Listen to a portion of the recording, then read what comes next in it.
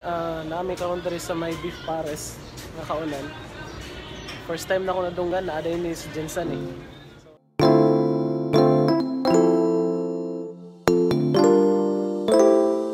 So guys, ito po si Jen. Luway na yun. Ha? Luway na. Dugay na ni? Lami na siya boss. Sige, try na mo ha. Sa Manila pa na. Sa Manila, pila sa Manila? Pinangan na sa Manila. Mahal lang? Pinangan na. Ah, Naka, nakapamang. so, kare guys, try na to. guys, try yung kanin namin. Meron silang silver bottled water. Para kung saan siya? Langaw. Langaw? Ah, okay. Para sa langaw. And then, meron ding garlic. Okay, so, tikman natin yung black laman na beef pares din. So, tanawa na to guys, yung saan yung inog. Oh, look at that. Parang meron siyang star anise. So, let's try. Ano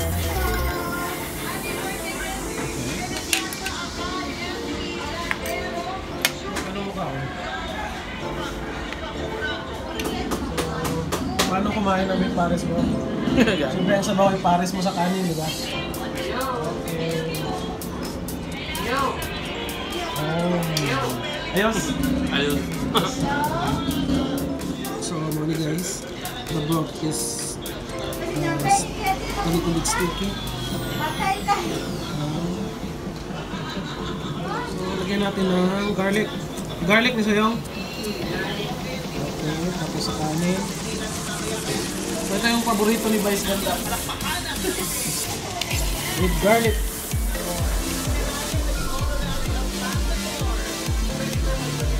Mm. Mas namin siya bro ng garlic.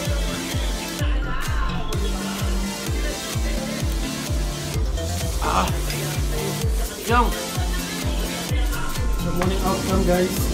So bro, out of 10 bro, bilay mo rating sa na. 10.5. 10.5.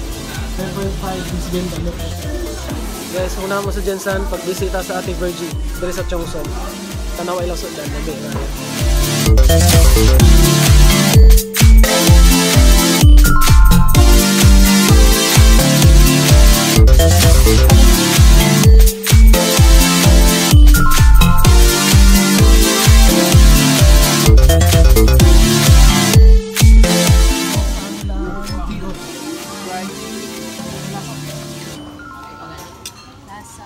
Tilapia, fried tilapia, and squid.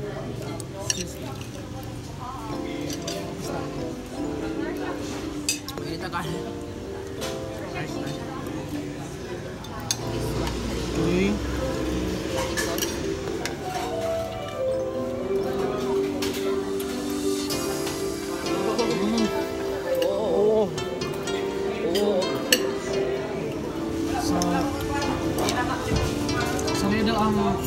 Fried tilapia na yun. Ha? Sa lasa. Fried tilapia.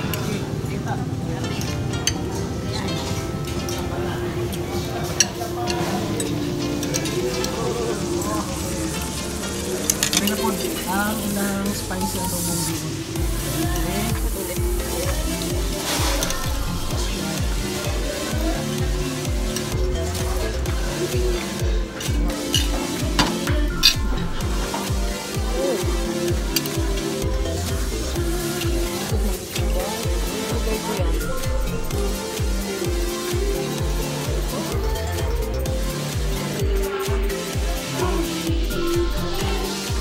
Soccer.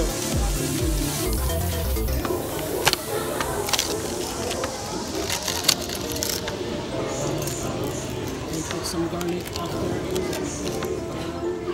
Fried tilapia. Mm. Oh. Oh. So juicy, so creamy, and it's very fresh. So delicious.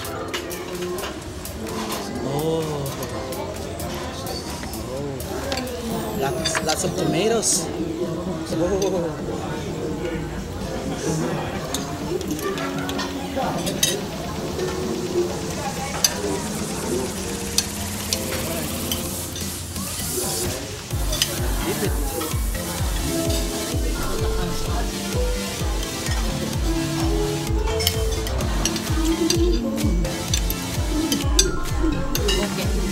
Thank you.